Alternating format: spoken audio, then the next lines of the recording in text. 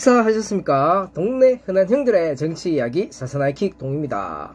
구독과 좋아요는 저에게 큰 힘이 되오니 구독, 좋아요, 알람 설정까지 부탁드리겠습니다. 오늘 제가 페이스북 보다가 뭐 홍준표 의원님의 페이스북 글 보고 어 이거 영상 찍고 싶어가지고 급하게 이래 찍어, 찍고 있는 거예요. 내용이 보면 곧 레임덕 대혼란이 올 것이라면 이제 국민의힘 당에 미리 이제 대비하라고 조언하시는 내용 같은데 홍 의원님이 이제 페이스북을 통해 가지고 뭐 이렇게 얘기를 하셨어요. 지난 탄핵 대선 때 대란 대치라는 말을 자주 했다. 그런데 요즘 문정권이 자행하는 것을 보니 대란 대치보다 이치 대란이라는 말이 오히려 현 시국에 더 적합한 방책이 아닌가 하는 생각이 든다. 라고 글을 올리셨어요. 네, 홍 의원님 덕분에 오늘 한자 공부도 좀 했어요.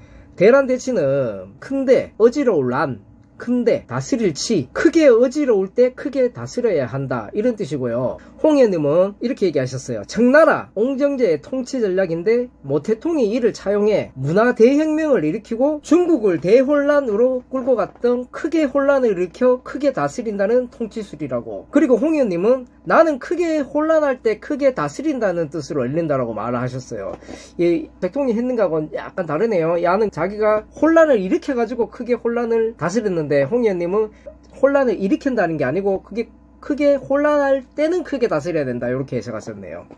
이치대라는 써이 다스릴 치 기다릴 때 어지울란. 자신을 다스린 뒤에 상대가 어지러워지기를 기다린다. 이런 뜻이네요. 홍 의원님은 이렇게 얘기하셨어요. 아군을 철저히 정비한 후에 상대의 혼란을 다스린다는 송자병법에 나오는 말이기도 합니다 하나된 군대는 비록 수는 열세라도 단합된 힘으로 상대를 물리칠 수 있기 때문입니다. 라고 말씀하셨네요. 그리고 마지막에 끝맺음을 이렇게 하셨어요. 곧 천하 대란이 옵니다. 정치, 경제, 사회, 문화, 외교, 대부 어느 하나도 수습하기 어려운 레임덕 대혼란이 옵니다. 이치 대란으로 이를 극복해야 할 때가 옵니다. 라고 글을 남기셨어요. 이게 보니까 틀린 말이 하나도 없어요. 지금 정치는 완전히 독재 정치지 경제는 자꾸 코로나 핑계 대는데 코로나 아니라 도 하도 우리나라 경제 진짜 망했어요. 주위에 안 힘든 사람이 없어요. 외교는 뭐 박살난 지 오래됐고 대부분 우리나라 대통령이 김정은인지 누군지도 모르잖아요. 지금 김정은 마음대로 뭐 김정은이 하라는 데도 다 하는데 홍준표 의원님은 보면 페북에 쓰는 글 하나하나가 이슈가 돼가 이래가 뭐 매일신문이나 이렇게 신문에 나오는 경우가 많아요. 그만큼 이슈가 되는 인물이란 말이죠. 이런 인지도가 있는 사람이 아직 복당이 안 되는 거 보면 도대체 이해가 안 돼요. 저희 방송 초창기부터 보신 분은 아실 거예요. 전 대표는 원래 홍빠 홍 의원님 빠였었지만 저는 홍빠는 아니었었어요. 누든지 보스에서만 다음 대통령 나오면 된다. 근데 저희가 방송한 적 있을 거예요. 홍준표 의원님 예전에 대선 때 정책을 보는데 와, 너, 쟤하고 너무 맞는 거예요. 진짜 우파를 위한 정책이더라고 보니까. 정책은 정말 맞아가 그때부터 생각을 해보니까 아니 과연 우파에 이만한 대선 후보가 있나 싶더라고요. 아니 홍 의원님이 복당한다고 무조건 대선에 간다 제가 이런 말 하는 건 아니에요. 당당당하게 복당을 시켜가지고 경선을 해가지고 뭐 홍영님이 경선에서 이기면 대통령 나가시는 기고 지면 정정당당하게 이긴 분 밀어주시는 거 이게 맞지. 이게 우리가 주장하는 정정당당한 사회잖아요.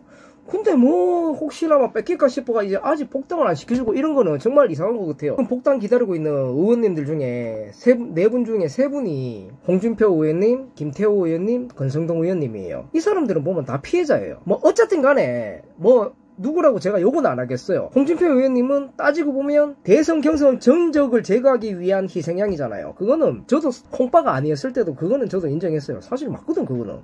그리고 김태호 의원님 이거 아시는 분은 아실지 모르겠는데 예전에 김태호 의원님이 국무총리가 될 분을 하셨어요. 근데 부인한테 루비통 가방 하나 사준 걸로 국무총리 못 됐어요. 그게 말이 돼요. 혹시 여성분 보시는 분 있으면 루비통 가나 명품 가방 하나 없으신 분 있어요? 심지어 남자들 자기 여자친구들한테도 명품 가방 선물해 주신 분들 많을 거예요. 그런데 그 마누라한테 부인한테 명품 가방 루비통 하나 사줬다고 그걸로 자파들이 막 돈이 얼마짜린데 이래 긁어가지고 그래 국무총리 못 됐어요.